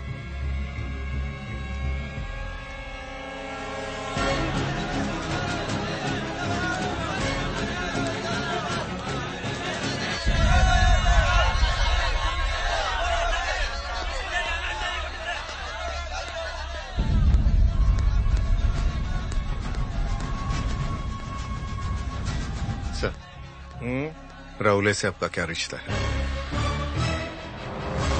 पवार को बुलाओ। जी। आई एम इम्प्रेस्ड मुझे मालूम था एक न एक दिन तुझे इस बात का पता चलेगा लेकिन इतनी जल्दी आई एम इम्प्रेस्ड पवार साहब आ गए। हाँ उनसे कहो कि लंबा सा ट्रेलर मैनेज करो। लंबा चाहिए। जी। राजनीति में आने वाले हर एक के मन में लीडर बनने की इच्छा होती है। और अन्ना साहब के होते हुए मैं लीडर नहीं बन पाता। सावंत? जी साहब कटआउट बड़ा होना चाहिए फूल चाहिए सफ़ेद ऑरेंज हरे झंडा झंडा तिरंगा झंडा लगना चाहिए। सिस्टम को कंट्रोल में रखने के लिए पॉलिटिशियंस को अंडरवर्ल्ड और पुलिस दोनों की ज़रूरत पड़ती है। जो काम पुलिस नहीं कर सकती है गुंडे से करवाती है। जैसा ये हादसा। अहम बात यह है कि एक शहर में दो गैंग्स नहीं होनी चाहिए। वरना दूसरी गैंग का इस्तेमाल कोई तीसरा करता है। क्या नाम है आपका? जरा बाहर जाइए। बाहर जाइए।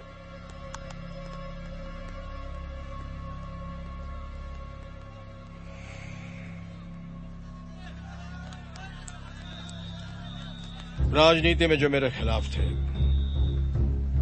उन्हें हटाने के लिए मैंने अंडरवर्ल्ड का इस्तेमाल किया। और अंडरवर्ल्ड में जो मेरे खिलाफ थे उनका बंदोबस्त करने के लिए मैंने तुझ जैसे ईमानदार पुलिस अफसरों का इस्तेमाल किया। रावले और रॉफ की दुश्मनी मुंबई की क्राइम सिचुएशन को खराब करने में काम आ गई। अन्ना साहब पर दबाव आया और उन्होंने मुझे मजबूरन होम मिनिस्टर बनाया। तुरारॉफ जागीरदार साहब। का बंदोबस्त किया। अब रावले भी शांत रहेगा। इसे कहते हैं पॉलिटिक्स। हर चीज़ का सही वक्त पर सही ढंग से इस्तेमाल करने का हुनर होना चाहिए। जो अच्छा चल रहा है, उसे बिगाड़ना आना चाहिए। जो बिगड़ रहा है, उसे सुधारना आना चाहिए। नहीं समझे? ठीक है। सिस्टम का तो एक बहुत ही मामूली हिस्सा है। बहुत छोटा हिस्सा है। पर मैं सिस्टम हूँ। जिस काम के लिए तुझे यहाँ लाया गया था, वो काम खत्म हो चुका है। अब तेरी यहाँ कोई ज़रूरत नहीं है। स्क्वाड भी मैं बंद कर रहा हूँ। बाहर जाके किसी से बोलेगा तो कोई भरोसा नहीं करेगा। क्योंकि अन्ना साहब के बाद लोगों के दिल में मेरी जगह है। सुनकर बौखला गया ना। अगर मेरे साथ रहेगा तो ज़िंदगी भर तेरा ख्याल रखूँगा। मगर आज भी अच्छाई, बुराई, नैतिकता, अनैतिकता इसके चक्रव्यूह में फंस गया है। तो अन्ना साहब की एक तस्वीर देता हूँ, उसे ले जाना, उसकी पूजा करना।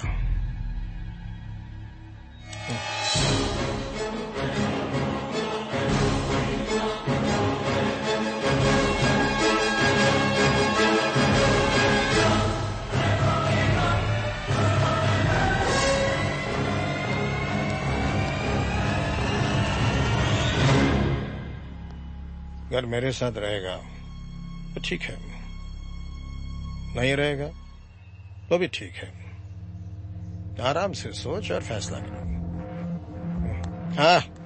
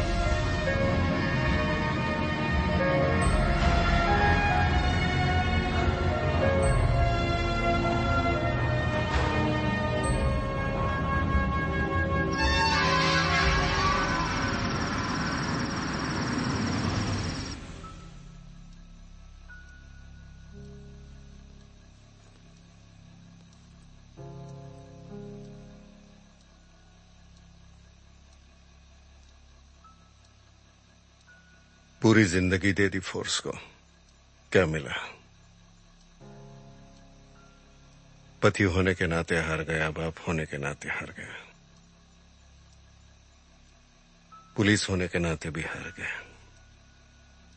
अब पता चला कि हमारी सैलरी भी अंडरवर्ल्ड की जेब से आती है। सब कुछ भी हो हमें जागीरदार को एक्सपोज करना है। तेरी मेरी सोच से बहुत दूर है जागीरदार। सर मुझे लीड मिला है जागीरदार और रावले के कनेक्शन को लेकर। कुछ नहीं हो सकता। भूल जाओ सब कुछ। आप ये सब इतनी आसानी से कैसे कह रहे हैं? आसानी से नहीं कह रहा हूँ। बहुत सी गलतियाँ कर चुका हूँ। अब गवाने के लिए मेरे पास कुछ भी नहीं है। अब काफ़ी मटेरियल जमा हुआ होगा तुम्हारे पास, तुम्हारी बुक के लिए?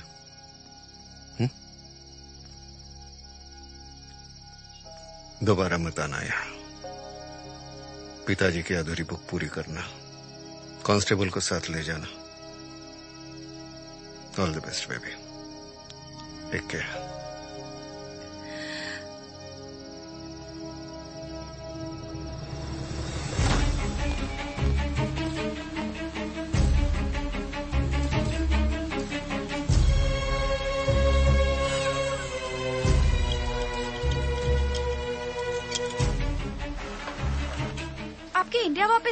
पीछे कोई खास वजह? मैं अपने देश की मिट्टी से ज़्यादा दूर नहीं रह सकता हूँ। जब तक रऊफ ज़िंदा था। तब तक मेरा यहाँ ज़िंदा रहना मुमकिन नहीं था। अब रऊफ नहीं रहा तो मैं वापस आ गया हूँ अपने लोगों के पास। And it's it's such a great feeling ये जानते हुए कि आपके खिलाफ इतने केसेस हैं आपको सजा से डर नहीं लगता? बिल्कुल नहीं क्योंकि मैं बेगुनाह हूँ। सिस्टम में मेरा पूरा विश्वास है। एंड आई एम श्योर कि मुझे न्याय ज़रूर मिलेगा। रहा सवाल लीगल एस्पेक्ट का। तो वो आप मेरे लॉयर से पूछ सकते हैं। सुनने में आया कि आप पॉलिटिक्स ज्वाइन करने की सोच रहे हैं। फ़िलहाल तो कुछ ऐसा नहीं सोचा है। देश के लोगों ने अगर मुझे सेवा करने का अवसर दिया तो मैं पूरी कोशिश करूँगा कि इस देश की मिट्टी से मैंने जो कुछ भी सीखा है मैं वापस कर सकूँ? सुना है कि आपका और चीफ मिनिस्टर का कोई कनेक्शन है? थैंक यू सर शायद रावले समझता है कि उसके खिलाफ कोई सबूत नहीं है लेकिन उसे मालूम होना चाहिए कि इनकाउंटर स्क्वाड को सबूत की ज़रूरत नहीं है। भंडारे तुम्हें लगता है कि अब इनकाउंटर स्क्वाड की ज़रूरत है? मुझे नहीं लगता है। रावले गैंगस्टर ज़रूर है लेकिन उस पर लगाए हुए जो इल्ज़ाम है जब तक साबित नहीं होते तब तक उसकी प्रोटेक्शन की ज़िम्मेदारी तुम्हारी है। लेकिन सर? जो बोला है वो करो।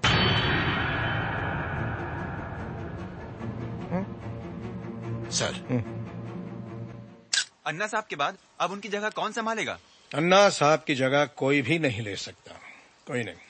Non criminal Rawle politics join कर रहा है क्या उसका कोई पॉलिटिकल कनेक्शन है अब शायद भूल रही हैं कि डेमोक्रेसी में जब तक किसी भी क्रिमिनल का क्राइम साबित ना हो, तब तक उसे क्रिमिनल कहना ठीक नहीं है। लेकिन आप लोग जो है कोर्ट से पहले ही मीडिया ट्रायल शुरू करते हैं। यह गलत है। अगर रावले का कोई पॉलिटिकल कनेक्शन नहीं है then on who support and assurance is he coming back to India किसके सहारे वो खुलेआम पॉलिटिक्स ज्वाइन करने का ऐलान कर रहा है? मोहतरमा मैं फिर से कह रहा हूँ कि आज हम यहाँ इकट्ठा हुए हैं। पूजनीय अन्ना साहब के लिए। साहब आप बात टाल रहे हैं। बात का जवाब दीजिए। मैं कोई भी बात टाल नहीं रहा आप जरा नीचे बैठिए। ये कहाँ से आई है? कहाँ की है आपने जर्नलिज्म? आप समझते नहीं बात को? There is some please sir Anna साहब की डेथ कोई नेचुरल डेथ नहीं थी. इट वॉज़ एन असैसिनेशन उसकी तहकीकात हो रही है और पूरी होगी। कब तहकीकात होगी? कब बताएँगे उसके बारे में आप हमको? आज यही अवसर है आपको बताने का कि क्या स्टेप्स लिए जा रहे हैं उनके असैसिनेशन की इन्वेस्टिगेशन तो के लिए speak sit down it was an assassination yes I know अब जरा कोई समझाइए। कहाँ कहाँ से बच्चे आते हैं? क्या क्या करते हैं? कौन सी यूनिवर्सिटी है आपकी? क्या नाम है आपका? शालू दीक्षित।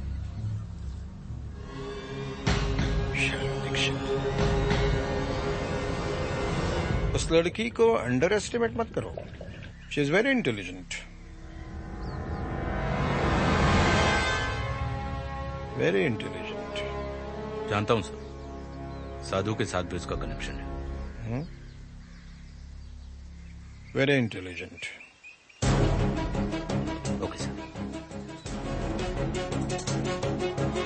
मुझे जागीरदार और रावले के रिश्ते का सबूत मिल गया है। अभी बांद्रा में सचिवालय की तरफ़ जा रही हूँ। गांधी जी वाले पार्क के पीछे। चलो भाई।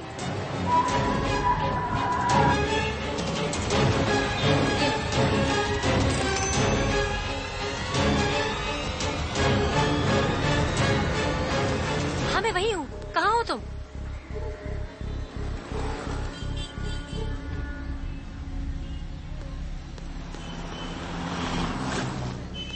हेलो ज्योति।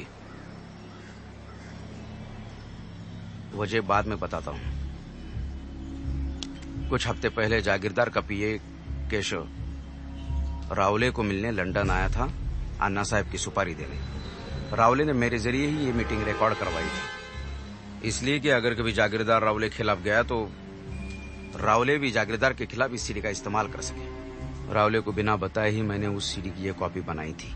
पिछले कुछ दिनों में उसके और मेरे बीच हालात काफ़ी बिगड़ गए हैं। उसने जो भी मेरे साथ किया, अब उसका बदला मैं उसे खत्म करके ही लूँगा।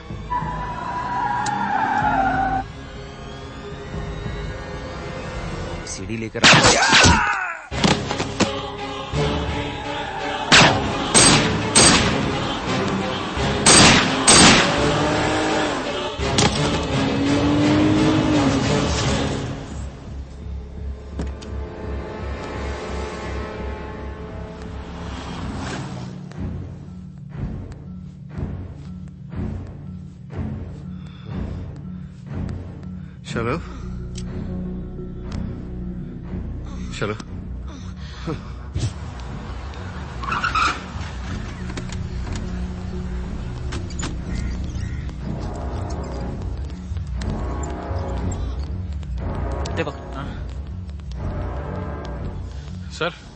काय झालं सर?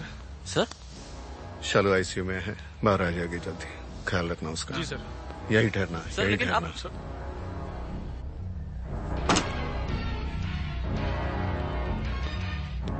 अन्ना साहब के संदर्भ में जितना भी कहा जाए जो भी कहा जाए वो कम ही है। महाविद्यालय से ही वो सामाजिक आंदोलनों से जुड़े हुए थे उसका हिस्सा बन गए थे। उनके लिए समाज ही उनका परिवार था। अपना पूरा जीवन उन्होंने समाज के लिए समर्पित किया।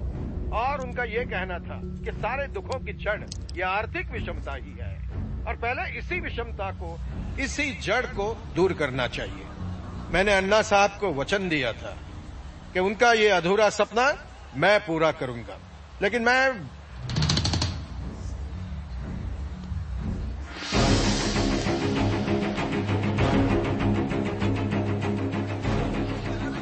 मैं तो एक माध्यम हूँ। मुझे आपका साथ चाहिए। अन्ना साहब ने हमारे इस कमज़ोर सिस्टम को बदलने के लिए आखिरी सांस तक काम किया। तो हमें इस सिस्टम को हमेशा के लिए बदलना होगा। अन्ना साहब का यह सपना था।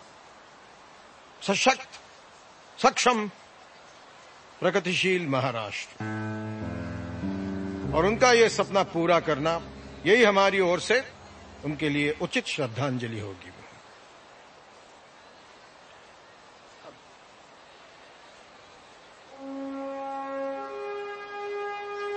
जय हिंद, जय महाराष्ट्र।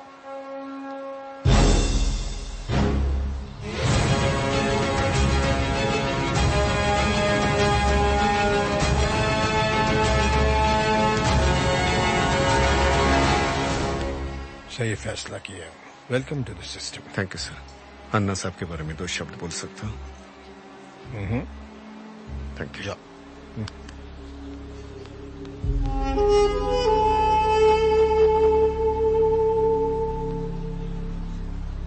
अन्ना साहब को तहे दिल से मेरी श्रद्धांजलि। आज तक मैंने किसी के पाँव नहीं छुए। न माता पिता के, न गुरु के, न भगवान के। लेकिन इनके छुए, क्योंकि इन्होंने मेरी ज़िंदगी बदल दी। आप शायद मुझे जानते होंगे, मैं साधु आकाश है एनकाउंटर कॉप सफ़ाई का काम करता हूँ। आपके इलाके में आठ दस दिन कचरा जमा हो जाए। गन बढ़ती है, बदबू आती है। कचरे की गाड़ी आ जाती है, गन उठा लेती है, बदबू खत्म हो जाती है। वैसे ही समाज में गुनाह की गन बढ़ती है। तो जागीरदार जैसे भले लोग, वो गन साफ़ करने के लिए हमें बुला लेते हैं। आमतौर पे एनकाउंटर का कोई गवाह नहीं होता। ये गंदा काम हम प्राइवेट में करते हैं, ताकि कोई सबूत न रहे। लेकिन एक एनकाउंटर मैं सबके सामने करना चाहता हूँ।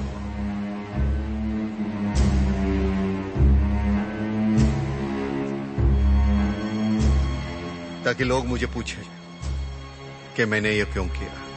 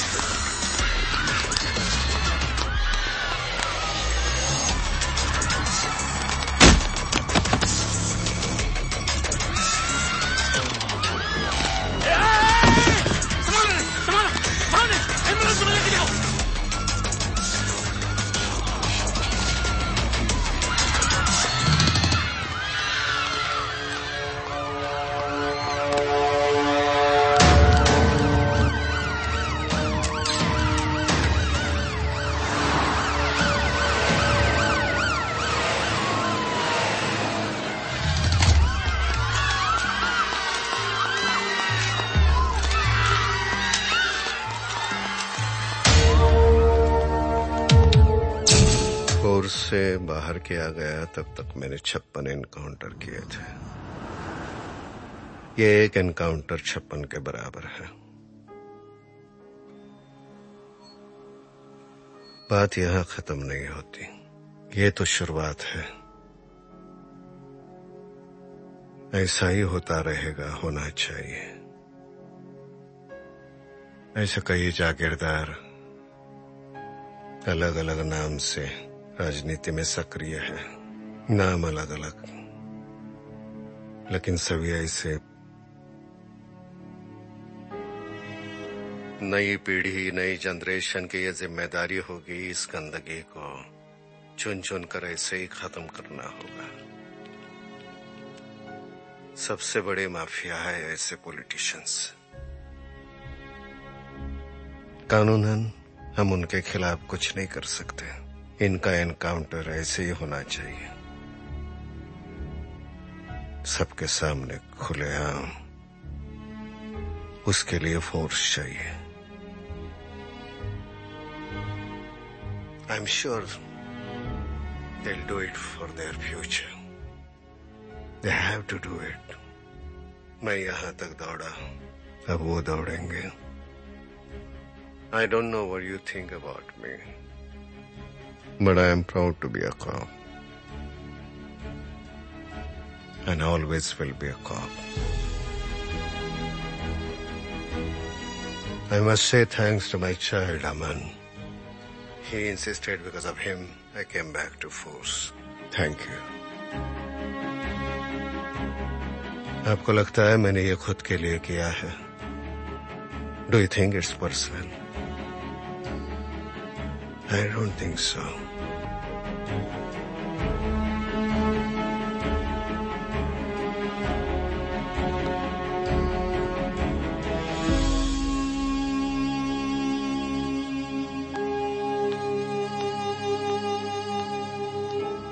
Aman का ख्याल रखना